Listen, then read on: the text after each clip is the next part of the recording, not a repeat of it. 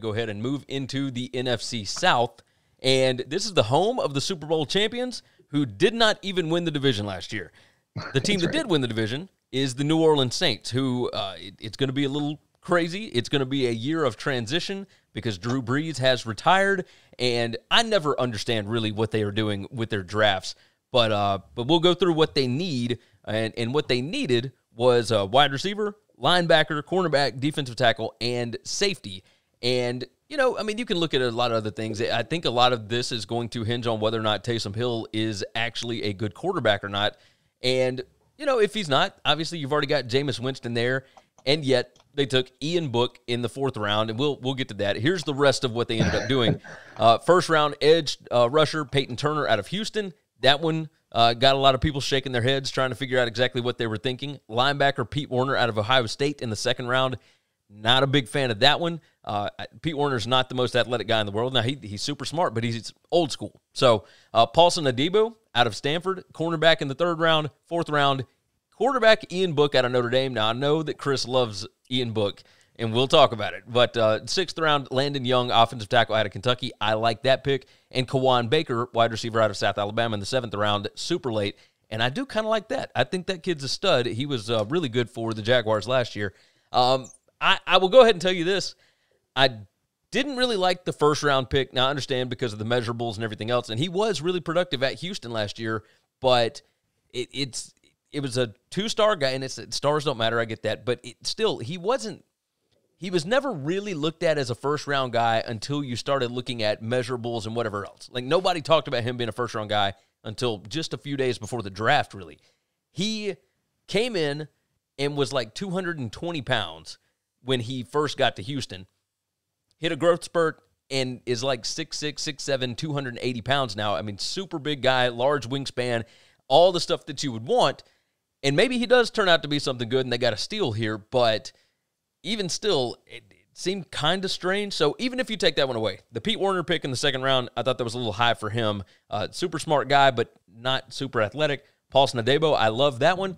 Ian Book, I don't like that one as early as they did it. And then I do like Landon Young and Quan Baker. Now, I guess overall, I'm like, yeah, okay, like I, I, I like it. I guess it's it. This is a strange one for me. You, you guys jump in. Yeah, it was strange because if from just the research I did on all these players, it seemed like they reached on every single player they drafted. Not even Payton Turner was, you know, everyone had a second or third round grade on this kid. Same with Werner. Then you go down, then you get Ian Book. Now, so you're going to start Jameis Winston and use Taysom Hill as the sort, just sort of like he was used last year, probably a little bit more because Jameis, I'm sure, will make some boneheaded plays and turn the ball over 20 times like he always does. So, but well, hold on. It, it, so I thought Taysom was going to be the, the guy. I Isn't did he the guy? Oh, Are we sure I think it's going to be Jameis? Jameis. I think it'll be Jameis, and they're going to use Taysom Hill like they used him last year. He'll be the switchblade type of guy. I think that's what you're going to see. Everything that, and it's really hard because they paid them both the same amount of money, right? So, like, Yeah. what the hell is actually going on here? You're going to see them both play. That's what's going to happen. They're not going to pay Jameis 12, 13 million to be the backup and then and behind Taysom Hill. I think he'll be the first and second down quarterback, and you're going to see Taysom Hill in the red zone, and you're going to see him, you know, doing little reverse plays and throwing it. Their offense is going to look funky next year. And that's why I'm looking like you need a wide receiver. So you lose Emmanuel Sanders, you have Michael Thomas. Tre'Quan Smith is absolute trash. He can't catch anything. He's absolutely terrible. Uh, who's that little guy that caught a few passes? Uh, Davis. He's all right, but you have no one to throw to, and you let Jared Cook go.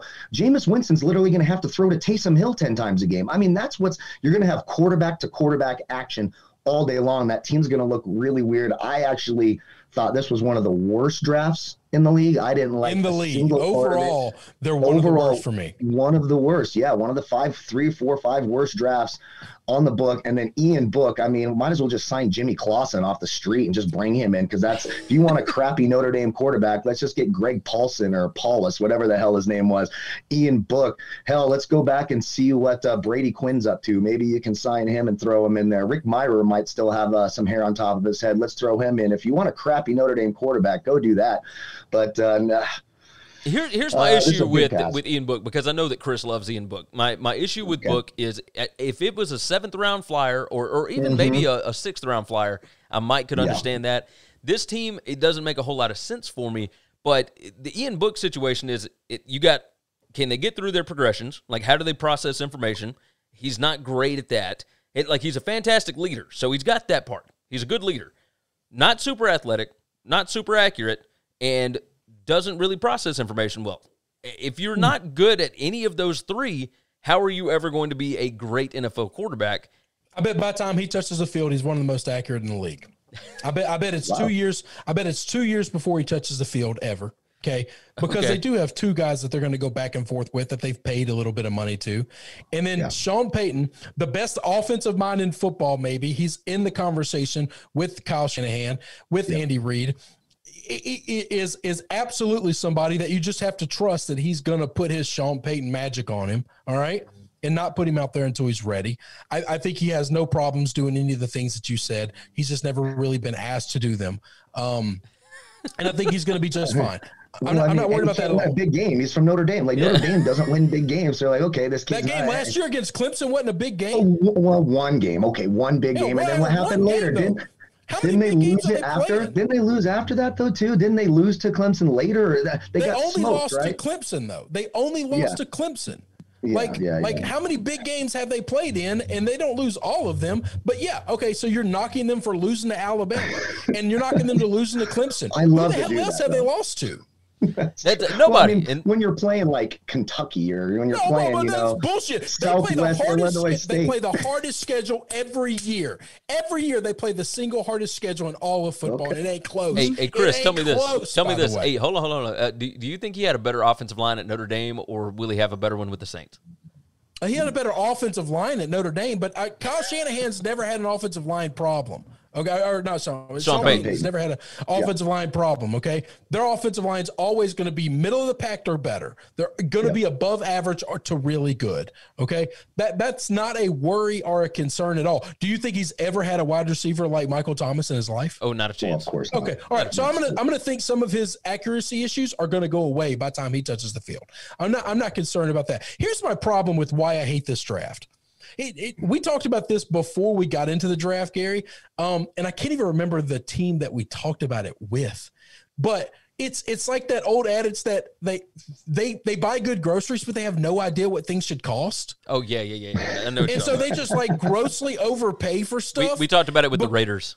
Oh, with the Raiders, that's it. It's like it's not that yeah. I hate their draft picks. It's that, that, that they just have no concept of what things should cost, right? Like how much is a gallon of milk? I don't know, twelve bucks. What, what yeah, you know, mm-hmm. they, they they they they think these players are good. They just don't have a concept of I don't have to take him in the fourth. I can take him in the sixth. Like they just Kyle does. I mean, uh, Sean just doesn't understand. He just doesn't know that, and right. and so I knock him for the Houston pick because Gary and I talk college football but I, I follow and listen to people that actually follow college football for a living. They are journalists. They they are in and out of these teams more than anyone else, and they didn't know Payton Turner's name. They didn't know he existed on Houston's football team, and they covered Houston multiple times, like mm. big games. That that's a problem. That's a little bit that's of a red flag to me. yeah. So so that's the issue. Outside of Ian, I, I don't. And here's the thing: yes, they grossly overpaid for Ian, but I'm yeah. telling you, you're remembering Notre Dame the way Notre Dame used to be. Okay, none of those mm-hmm. quarterbacks that came out of Notre Dame were coached by Brian Kelly. Brian Kelly is right. a completely different guy. He hasn't put many quarterbacks in the NFL. I don't know if he's put any quarterbacks in the NFL until Ian, but he he is the way Notre Dame has changed offensively and what he's able to do I, I just think Ian's a smart quarterback. I do think he has plenty of athleticism. He's got plenty of arm. I think his accuracy is fine. And I think his progression is fine. I, I think they run a different offense than Sean runs. And I think Sean Payton's going to coach him up. And I think it's two years before he ever touches the field. Ever. Not not even close to sniffing the field.